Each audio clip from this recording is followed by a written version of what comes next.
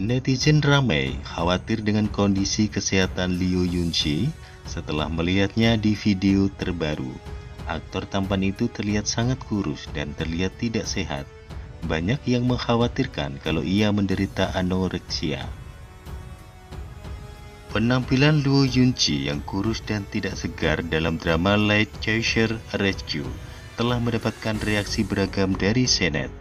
Meskipun banyak yang mengatakan plotnya cukup menarik, beberapa orang berpikir bahwa Liu Yunji sedikit terlalu kurus. Apalagi karena tema drama adalah tentang tim penyelamatan, beberapa orang berpikir bahwa aktor yang memainkan peran utama harusnya memiliki kekuatan fisik yang kuat atau setidaknya fisiknya cocok dengan peran tersebut. Memang banyak selebriti pria yang kurus, namun Luo Yunchi memiliki kulit yang terlalu putih, jadi terlihat sangat pucat, tidak segar dan seperti orang yang sakit. Karena alasan tersebutlah beberapa senet berpikir kalau Liu Yunchi kurang cocok dengan peran sebagai tim penyelamat. Keluhan Senet tidak hanya sekali ini saja, dua tahun terakhir Senet memang mengkhawatirkan penampilan Liu Yunchi yang terlalu kurus. Bahkan orang pernah melihatnya di lokasi syuting juga berkata demikian.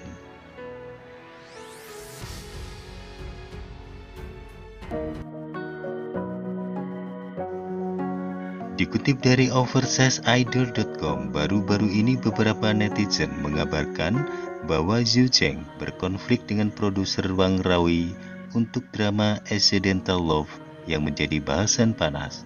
Drama tersebut mengatakan bahwa inspektor drama tidak setuju untuk membiarkan Dylan Wang sebagai pemeran utama dalam drama tersebut. Mendakapi hal ini, produser drama tersebut membantah bahwa ia telah menolak Dylan untuk drama tersebut. Yu Cheng sendiri juga menjawab netizen atas kontroversi dalam akun media sosialnya. Saya tidak pernah menyatakan pendapat apa pun tentang posisi aktor dan saya tidak akan melakukannya. Hal yang rendah seperti itu mendapatkan perhatian penggemar.